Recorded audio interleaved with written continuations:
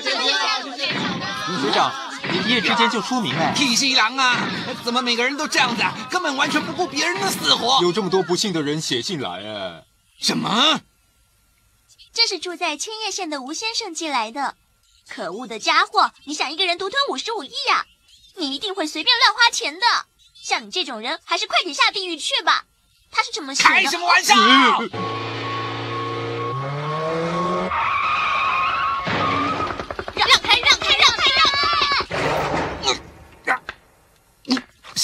小小挺跟赖世子。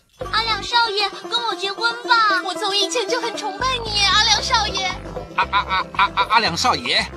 哦，阿良少爷，我就知道总有一天你会成大器的。阿良少爷，人家想要赶快跟你举行婚礼了。小挺，你有没有搞错？干嘛？赖世子。要跟阿良少爷结婚的人是我。到昨天为止，阿良在局里还是最糟的结婚对象票选第一名呢。要我跟你们两个结婚，我还不如把五十五亿丢到水沟里呢。你说什么？讲这句话真是太过分了。啊，两金啊，你快点想想办法呀！所长，你要是再不出面，这些混乱的场面没办法收拾的。这些人是怎么搞的？注意，你们快点离开！本人我到现在还没拿到那五十五亿，所以无可奉告。冤，吵死啦！